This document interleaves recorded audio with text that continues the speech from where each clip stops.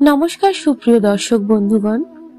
প্রভুর কৃপা চ্যানেলটিতে আপনাদেরকে স্বাগত জানাই। আশা করি ঠাকুর এবং মায়ের আশীর্বাদে আপনারা সবাই মঙ্গলে রয়েছেন, কুশলে রয়েছেন।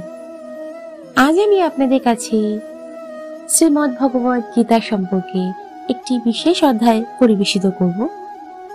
গীতা পাঠ করলে কি হয়? এটি সম্পর্কে একটি অধ্যায় পরিবেশনা করব।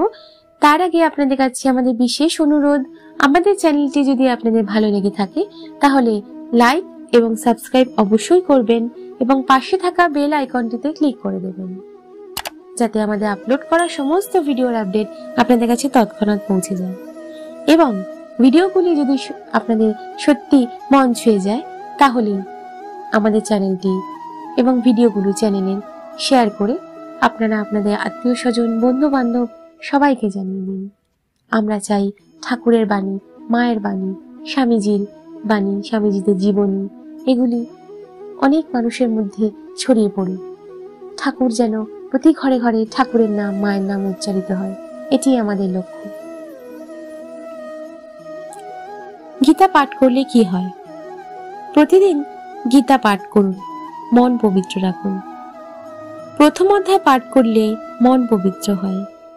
দ্বিতীয় অধ্যায় পাঠে নির্মলতা লাভ করে। তৃতীয় অধ্যায় পাঠে সর্বপাপ দূর হয়। চতুর্থ অধ্যায় পাঠ করলে ব্রহ্মহত্যা ও স্ত্রী হত্যাজনিত পাপ তৎক্ষণাৎ দূর হইয়া থাকে। পঞ্চম অধ্যায় পাঠ করিলে চৌর্য মহাপাপ দূর হয়। ষষ্ঠ অধ্যায় পাঠে মন্দ ভাগ্য নাশ হয়। সপ্তম অধ্যায় পাঠে বুদ্ধি নির্মলতা লাভ করে। অষ্টম অধ্যায় পাঠে অখাদ্য ও অপেয়জাত সকল প্রকার পাপ দূর হয়।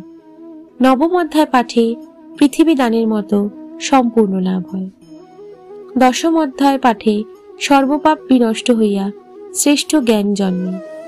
একাদশ অধ্যায় পাঠে ব্রহ্মজ্ঞান লাভ হয়ে মুক্তি লাভ হয়। দ্বাদশ অধ্যায় পাঠে ভগবান বিশুদ্ধ ভক্তি জন্মে।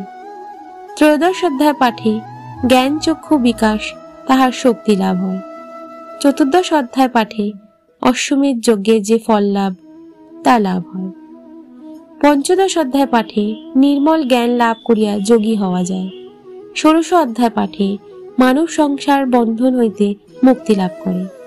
সপ্তদশ অধ্যায় পাঠে ভক্তজনের রাজপেয় নামক যজ্ঞের ফল লাভ হয়। অষ্টাদশ অধ্যায় পাঠে জ্ঞান রূপ অগ্নি দ্বারা পাপ দূর হয়। আমরা হিন্দু ধর্মাবলম্বী যারা, তারা সকলেই জানি কম বেশি আমরা সবাই জানি যে গীতা পাঠে কি পরিমাণ পুণ্য সঞ্চয় করা যায়। গীতা পাঠ করলে মনে শান্তি আসে, আত্মা শুদ্ধি হয়। যে কোনো বিপদ থেকে রক্ষা পাওয়া যায়। যে কোনো বিপদে পড়লে সেই বিপদের থেকে কি করে আমরা বেরিয়ে আসব? স্বয়ং শ্রীকৃষ্ণ আমাদের সেই পথ দেখিয়ে দেন। আপনাদের কাছে আমি অনুরোধ করছি, আপনারা গীতা পাঠ করুন।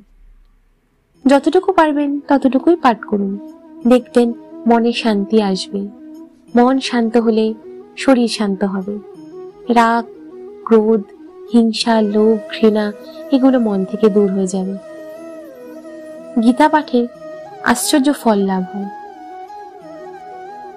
গীতা সম্পর্কে এই ছোট অধ্যায়টি আপনাদেরকে পরিবেশনা করলাম। আপনাদের ভালো লেগে থাকলে ভিডিওটি লাইক এবং কমেন্ট করবেন। এবং আমাদের চ্যানেলের ভিডিওগুলি ভালো লেগে থাকলে আপনাদের কাছে আমি আবারও অনুরোধ করছি, চ্যানেলটি সাবস্ক্রাইব করবেন এবং পাশে থাকা বেল আইকনটিতে ক্লিক করে দেবেন। তাহলে আমাদের আপলোড করা সমস্ত ভিডিওগুলি আপনাদের কাছে তৎক্ষণাৎ পৌঁছে যাবে। জয় শ্রীকৃষ্ণ